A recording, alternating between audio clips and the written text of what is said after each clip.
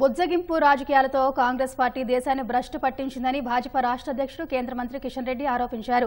హైదరాబాద్లోని భాజపా రాష్ట్ర కార్యాలయంలో ఏర్పాటు చేసిన నమో యాప్ వికసిత్ భారత్ వర్క్ షాప్నకు హాజరైన కిషన్ రెడ్డి ఏప్రిల్లో జరిగే ఎన్నికల్లో ప్రచండ విజయంతో మోదీ మూడోసారి ప్రధాని అవుతారని ధీమా వ్యక్తం చేశారు.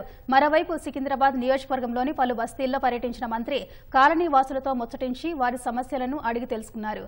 అనంతరం ఇంటింటా తిరుగుతూ అయోధ్య రామ మందిర అక్షంతల వితరణ కార్యక్రమాన్ని నిర్వహించారు.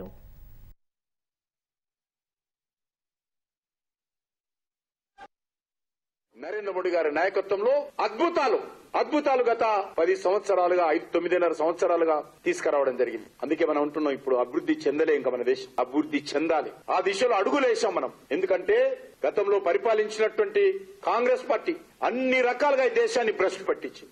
బుజ్జగింపు రాజకీయ రాజకీయాలతో కుటుంబ రాజకీయాలతో అవినీతి రాజకీయాలతో అధికార దుర్వినియోగంతో ఈ రోజు దేశాన్ని భ్రష్టు పట్టించింది జమ్మూ కాశ్మీర్ నుంచి మొదలు పెడితే కన్యాకుమారి వరకు ఒక్కొక్కటి ఒక్కొక్కటి ఒక్కొక్కటి పరిష్కారం చేసుకుంటూ వస్తున్నాం. బానిస మనస్తత్వానికి తిలోదకాలు ఇస్తా ఉన్నాం మనం.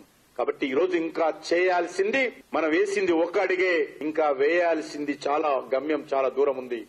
అది ఆ లక్ష్యం గమ్యం చేరుకునేటువంటి లక్ష్యమే ట్వంటీ ఫార్టీ సెవెన్ పెట్టుకున్నాము. ట్వంటీ ఫార్టీ సెవెన్లో వికసిత్ భారత్గా భారతదేశం ముందుకెళ్ళాలి